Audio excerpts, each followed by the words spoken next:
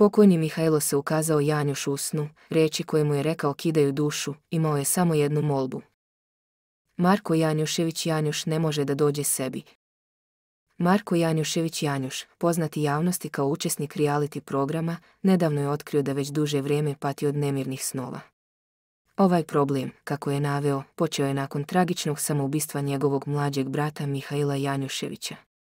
Marko je otvoreno progovorio o svojim noćnim morama, ističući da ih je teško podneo i da mu je to predstavljalo veliki izazov u svakodnevnom životu. Jedne noći, Marko je sanjao svog brata Mihaila. U snu, Mihailo mu je rekao da se osjeća dobro i da ne brine za njega. Ovaj san je duboko pogodio Marka, probudio ga i ostavio ga u suzama tokom cijele noći. Ova emotivna noćna avantura dodatno je potvrdila Markovu borbu sa gubitkom brata i njegovim teškim emotivnim stanjem.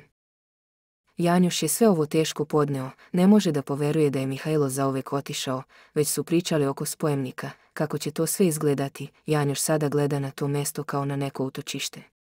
Nakon smrti mu se javio u snovima, bili su u porodičnoj kući i Mihajlo mu je rekao da je dobro, da ne brine za njega, da će uvijek da ih nadgleda, zamolio ga je da zagrli krunu.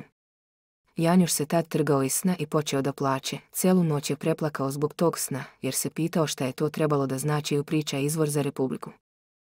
Marko je iskreno podelio da se od samoubistva brata suočava sa teškim periodima i da se trudi da pronađe način da se nosi sa svojim emocijama.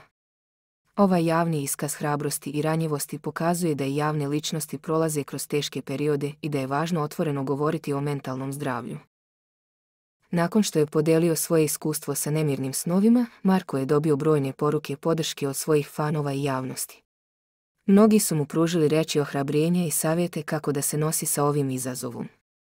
Također, Marko je istakao da razmišlja o potrazi za stručnom pomoći kako bi prevazišao svoje noćne more i pronašao miran san.